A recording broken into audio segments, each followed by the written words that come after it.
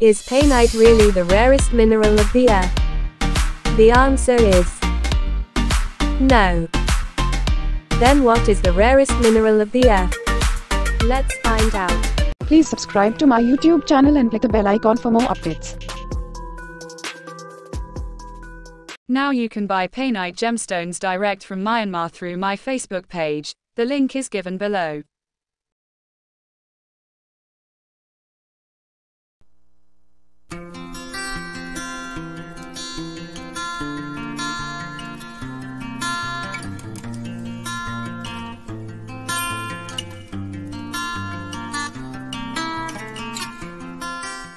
Minerals are scattered everywhere on our planet, from glittering flecks in gravel or sand to actual hidden gems.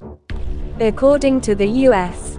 Geological Society opens in new tab minerals are naturally occurring elements or compounds that are inorganic, meaning they do not contain carbon. Each type of mineral exhibits order in its internal structure and has a unique chemical makeup the form a mineral's crystals take, as well as its other physical properties, can vary.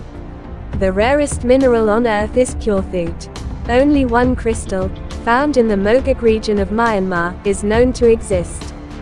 Caltech's mineral database opens in new tab describes it as a small, 1.61 carat, deep orange gemstone that the International Mineralogical Association opens in new tab officially recognized in 2015. However, little is known about kyawthuite, so let's move on to the second rarest mineral in existence.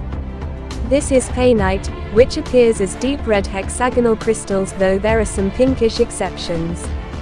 Though painite is now more easily found than it used to be, this mineral is still rare, and its chemical structure makes it something of a scientific enigma. In 1952, the English gem collector and dealer Arthur C. D. Pain acquired two crimson crystals in Myanmar, according to George Rossman, opens in New Tab, a professor of mineralogy at Caltech, who has been researching painite since the 1980s and maintains an extensive database opens in New Tab of all the samples he has analyzed microscopically. Pain thought the crystals were rubies, which the region is famed for, but unbeknownst to him they were actually something far rarer. Painite which took on Arthur's surname, is sometimes unearthed along with rubies and other gemstones. That explains why Pain assumed the crystals were rubies when, according to Rossman, he donated them to the British Museum in 1954 for further study.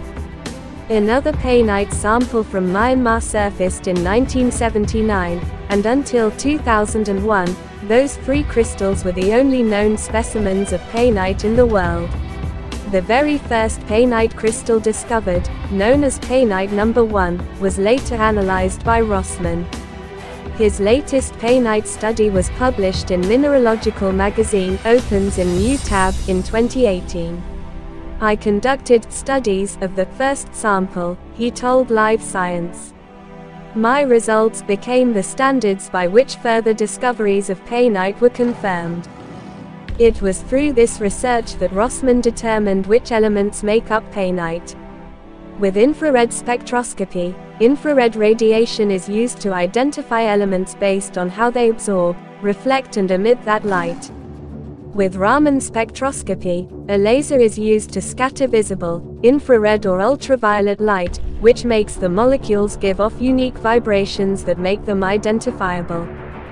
Rossman also found there was an error in the chemical makeup originally determined by scientists at the British Museum.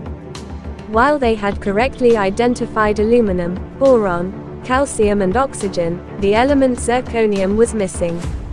Another thing Rossman found out was what gave painite its reddish hue. It has trace amounts of vanadium and chromium that might make it deceptively appear like a ruby. But what makes painite so rare? For one, it is only found in Myanmar, but the real reason lies in its formation. Painite is a borate crystal, meaning it contains boron. It also contains zirconium. Boron has a notoriously difficult time bonding with zirconium. In fact, painite is the only mineral in which the two have been found bonded in nature.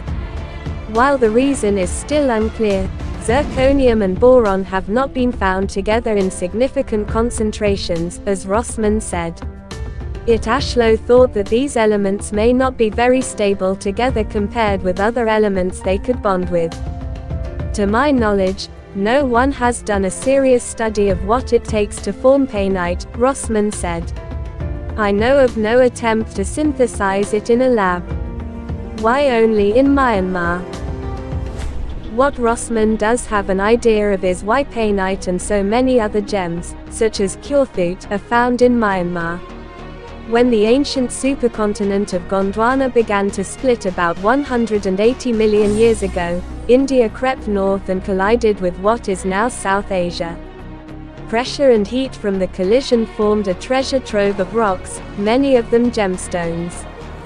He thinks the boron in painite and other borate minerals possibly came from shallow seas around the newly formed landmass. Rossman has had many crystals suspected to be painite sent to him for identification. Some have been hidden in plain sight for decades, as they were often stashed in bags of rough gemstones or in the hands of dealers and collectors who misidentified them. Painite suitable for luxe jewelry is hard to come by and valued as high as $60,000 a carat, Rossman said. What determines the price can be subjective, but the fewer flaws, the better.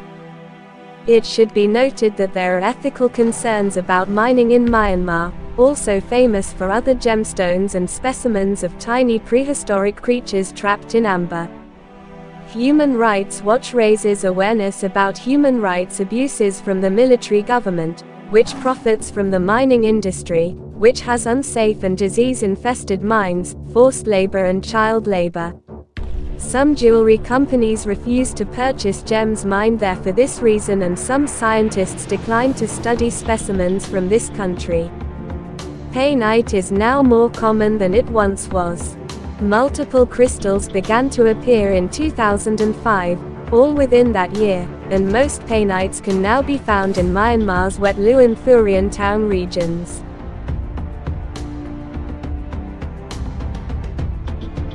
Don't forget to subscribe and share this channel and click the bell icon to get notifications.